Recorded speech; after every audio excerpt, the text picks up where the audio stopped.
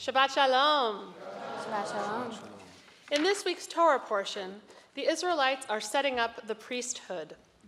We learn about the finely woven linens and fancy, semi precious stones on metal breastplates that the priests are commanded to wear.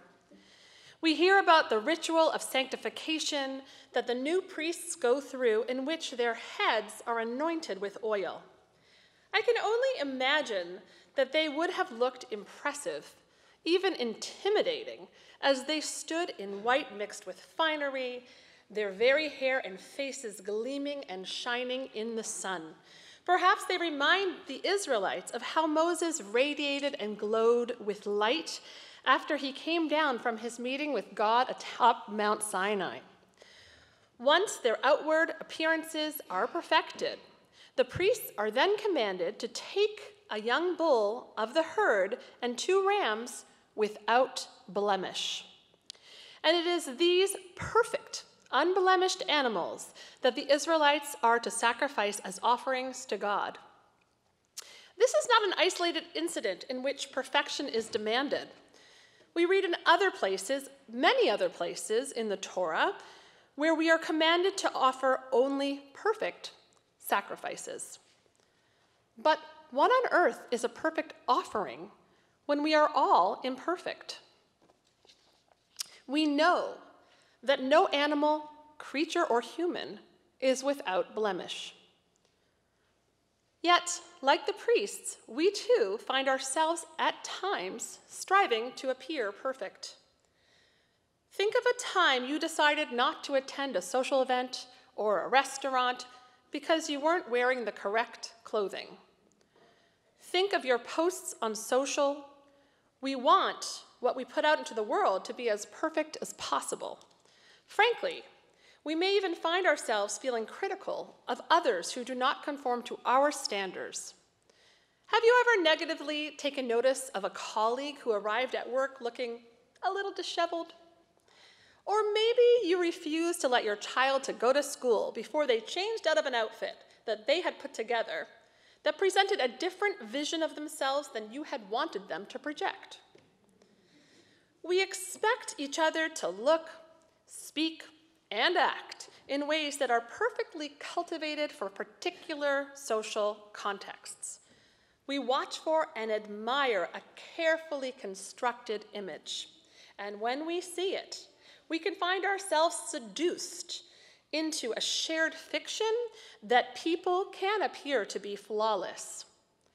This is not new. I think of the Song of Songs when one lover says to his beloved, Every part of you is fair, my darling. There is no blemish in you. Really? No blemish, none. I would have loved to hear Song of Songs Part 2 10 years later. After the two lovers have gotten married and had four children and struggled with the day to day biblical grind, could they still see no blemish in each other then? Or did they learn to love the blemishes that they uncovered? We, like the lovers in the Song of Songs, may not even realize when we are expecting perfection of one another. Just as we are often not conscious of the ways in which we have inter- internalized a desire to be the most flawless parent, the wisest partner, the most great friend, the number one fill in the blank. The very water we drink is energized with ambition and movement towards achieving the unachievable. And don't get me wrong, ambition is not a bad thing. It got many of us to where we are today. It was the engine that helped us to get the job, the apartment, the promotion, the recognition, the raise, the respect, the social standing, and maybe even the self respect. But the problem arises when, in our striving to be our best, we find ourselves rejecting parts of who we are and losing a sense of our fuller self. What does it mean for us to notice without trying to erase or block out our imperfections? How can we build in more acceptance of the parts of ourselves that frankly, we'd rather tuck away. Let's be perfectly clear. The Torah does not expect perfection. There are entire passages laid out about how, after missing the mark, making mistakes, or becoming impure, one offers a sacrifice or leaves the camp for some time, cleans up, and then is ready to resume life as usual. Just as in our liturgy, we have built in prayers for repentance, forgiveness, and for how to integrate different traits of ourselves together into a more comprehensive whole. The priests were imperfect, ordinary people. It is likely for that very reason that they needed to dress up in extraordinary garb when they took on holy work, like an actor wearing a costume that helps one to internalize her role. Jewish tradition from the earliest of times recognizes that we are not perfect. There is a folk tale I have heard about a man who would carry two pots, each and every day to a stream, where he would fill them with water and walk back along a long dirt path to bring the water home for the use of the day. As it turned out, one of the man's pots had a crack in it. And as this is a folk tale, this cracked pot had feelings and could speak. The pot felt badly about having a crack and spilling water as the man walked back from home, brought back home from the stream. And the pot said to him, I'm so sorry. I feel as if I've let you down. You do all of this hard work to bring me home each day, and yet when you get there, only two thirds of the water is left in me, as I am cracked and imperfect. The man replied to the pot, As we walk back home today from the stream, I want you to look down at the path beneath you.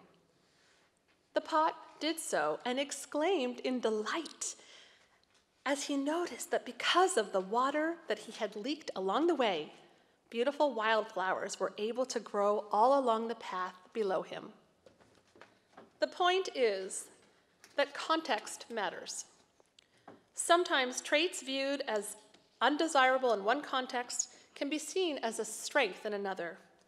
I think about a loud, boisterous, opinionated, headstrong, and nonconformist child in a classroom who often finds herself being quieted and criticized.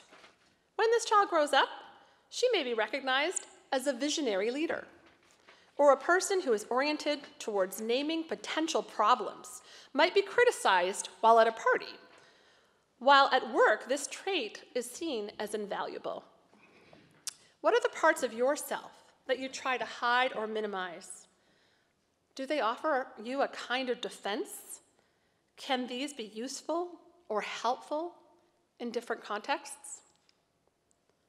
There can be no light without darkness. There is no perfection without blemish.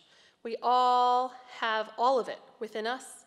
And this is a blessing, it's a strength, because that is what it means to be human and to be whole. The late Leonard Cohen wrote, There is a crack in everything. That is how the light gets in. May we discover that our imperfections can actually be blessings. May we come to see that the things we view as imperfect can actually be ideal traits when put in a different context. May we find the shalom, the peace that shalem, wholeness, brings. Shabbat shalom.